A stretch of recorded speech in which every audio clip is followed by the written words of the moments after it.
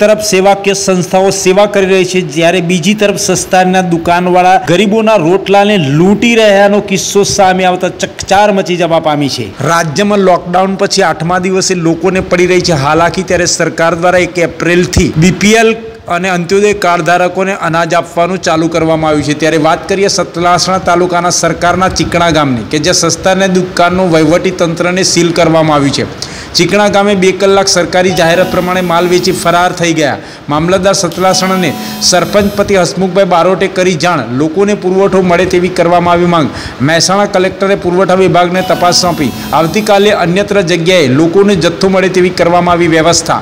સરકારી મંડળી સંચાલકો આવી પરિસ્થિતિમાં પણ બે નંબર કરવાનું નથી ભૂલતા કે બે નંબરનો માલ લેવાનું ચૂકતા નથી. ત્યારે કોરોના વાયરસની મહામારી વચ્ચે લોકો પોતાનું કરવામાં જ બે પડ્યા છે. ત્યારે ગરીબોના અન્નનો રોટલો છીનવાઈ જતો જોવા મળી રહ્યો છે. હાલમાં તો ચીકણા ગામે માલ વેચીને ફરાર થયેલાની સામે પુરવઠા વિભાગે આકરા પગલાં લઈ અને દુકાનને સીલ કરવામાં આવી છે.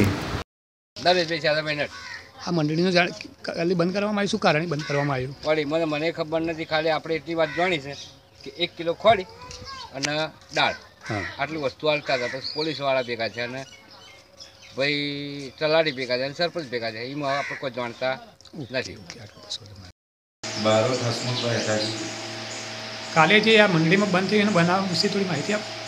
કે ગઈકાલે મંડળીનો જથ્થો પૂરતો ન હોવાથી ગામજનોની ફરિયાદ હોવાથી સરપંચ તલાટી શિક્ષક તેને ધ્યાન દોરતા મામલતદાર સાહેબને જાણ કરતા સતત સાહેબે રૂબરૂબ આવી તપાસ કરતા જથ્થો બંધ કરી અને નવા જથ્થાની કલેક્ટર સાહેબને વાત કરી છે. નવા જથ્થાની આજે જોગવાઈ થઈ જાય તો આવતીકાલે અમે શરૂઆત કરીશું.